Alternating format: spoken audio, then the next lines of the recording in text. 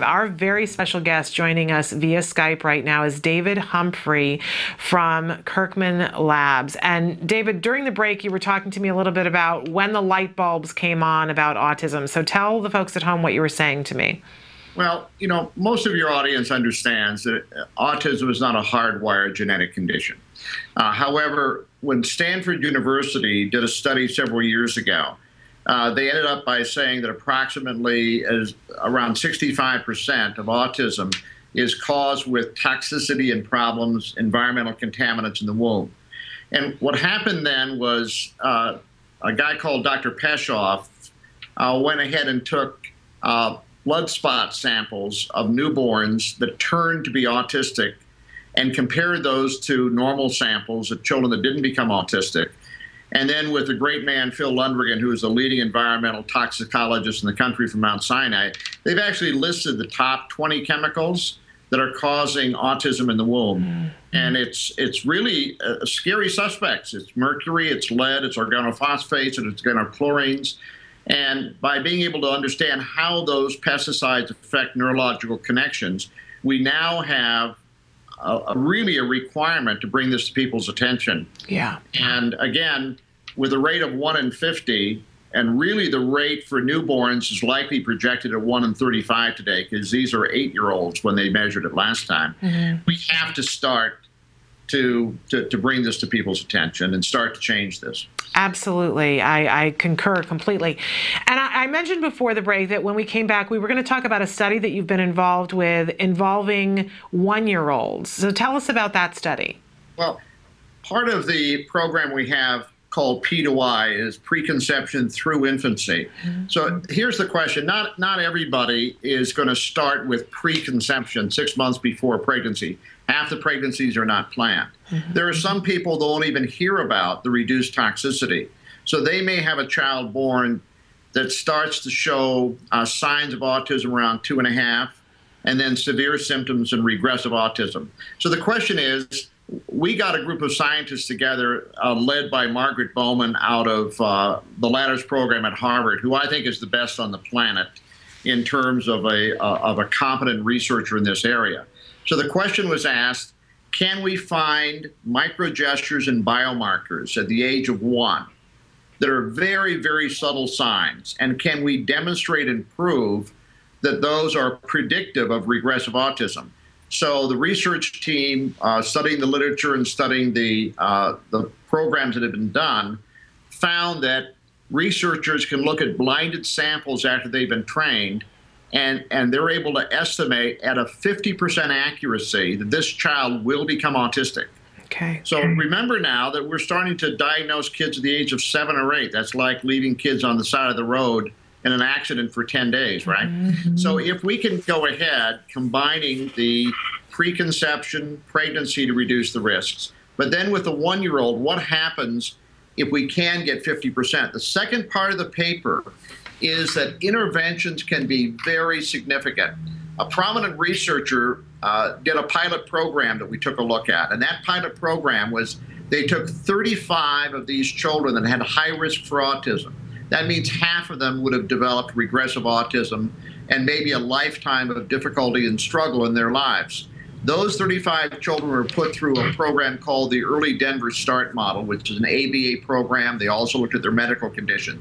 Okay, this, this is absolutely incredible. What happened was for those 35 where the intervention was done, and the intervention was ABA and medical, of the 35, 17 didn't develop regressive autism. None. 35 out of 35 did not develop autism. However, the average IQ was 127. And for you folks out there, that means you've got an A student rather than a C student or a yeah, B student. Yeah. And now here comes this fundamental question Is autism, by being able to have those kinds of increases with proper training, is autism a regressive gene? Just like Temple Grandin says, mm-hmm Mm-hmm. We're the people that build the bridges. We're the people that do the science. You folks are the ones that yakety yak around the campfire. So here's the danger. One of the reasons for so much genetic research is to locate the combination of genes in the womb to recommend abortions. And the tragedy that Dr. Rimland saw is rather than pursuing the science and rather than developing techniques to be able to uh, restrict the amount of, of problems that the child will have at two and a half by strengthening the middle cortex of the brain, uh, the other select solution is to abort the child. Yeah. uh, Yeah. It was just crazy. It's, it's like sterilizing people in the 30s. In fact, there's a term for it. It used to be called eugenics. And this new movement is called nugenics. And in China, a law was passed that all children that have serious genetic issues will be compulsively aborted.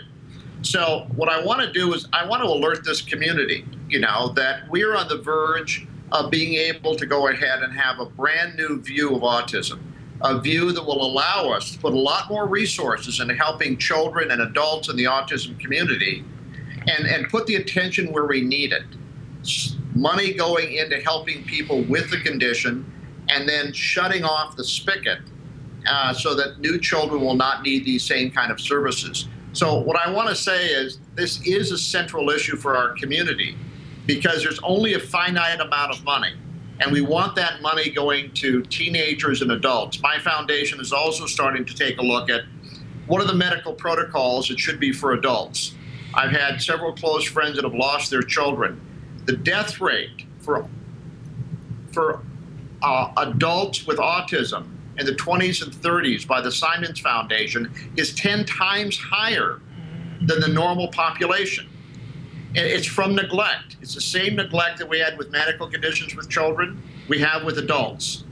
So, how are we going to get those resources to train the doctors and to get attention to this terrible problem of heart and seizure disorders with adults? We do this by being able to take the focus off the increase slow down the rate of increase, and then focus on people with a condition and their families to provide necessary uh, services and to treat people with great respect. Uh, I think all of us are sick and tired of this community being poorly treated by professional communities.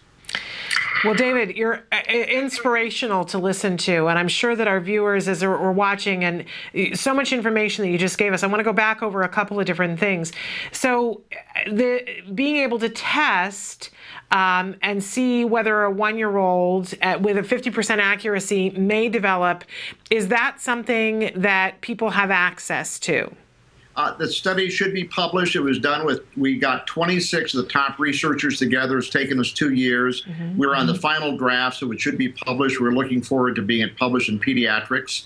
At that time, we will have a checklist of the 10 warning signs that parents can use themselves on a one year old. And then we'll try to direct that toward uh, people that can go ahead and give a more accurate diagnosis Okay. and then we'll develop uh, this very simple uh, technique uh, for intervention.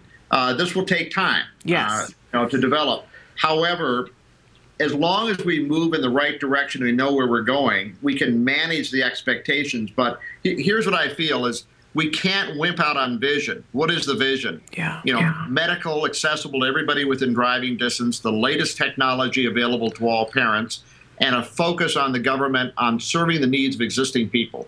So those are our focuses, and I think within three years we'll try to institute the one-year-old program. In the meantime, we'll have a website trying to explain it once the paper is published. So it'll be a self-help for people, and we'll get that out in the autism community right away. Amazing because I you know I got emotional when you were talking about it when I think about what my life was like from the time that my child was one until he turned two, and how I watched my child slowly disappear from me. I, I used to say, and I still say, it was like a thief was coming in the night and taking pieces of my child. And I kept on saying, something's going, uh, something's lost, something is uh, little by little. And it was so gradual that everybody thought that I was crazy.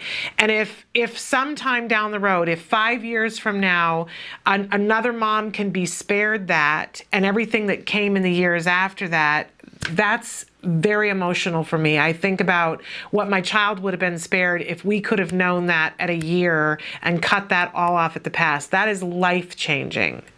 Well, you know, I think all of us in our lives understand that we have difficulty and make sacrifices. And when we do, the greatest calling is to be able to work so that others that we don't even know the names of don't have to go through the same experiences. Yes. And and that is to me, you asked me about Dr. Rimland. What Dr. Rimland taught me when I first met with him, he said, David, you will never meet a parent with a child with autism that you will not like. And I didn't quite understand that. I was an attorney and I was sort of a tough guy, and I mean, my life was not liking people, right? And uh, I'm still going on trying to find the first parent I don't like. The sacrifice, the generosity, uh, the, the feeling of part of a community, it's my privilege. And, and I just thank each day that I can be part of this. Well, I am thankful that you are a part of this. I always say, uh, you know, brighter minds than mine are working on this. And what a thrill to know that you're working on this and you are a brighter mind and you, sir, are a visionary. And I look forward to furthering this conversation with you on the show and hearing more about what happens. Now, if people have questions, uh, obviously they can go to the Kirkman Lab site and they can see the products that you have there and read more more about the Kirkman story and your uh, level of uh, concern and and your constant testing to make sure that people are getting pure supplements. They can read all about that on the Kirkman site. But is there a place that, if they want more information about either of the studies that you talked about, that they can go to? Well, the, uh, the Northwest Autism Foundation is the foundation I'm part of, so we'll be publishing a lot of information about P2I okay. and the one year old study. It's the group that founded ATN, which is the big university group, so it's a very good group, and I've got an awful lot of very talented board members. So uh, that's that's really the central site, and I'll remember to post that on the uh, the Kirkman Okay. as well.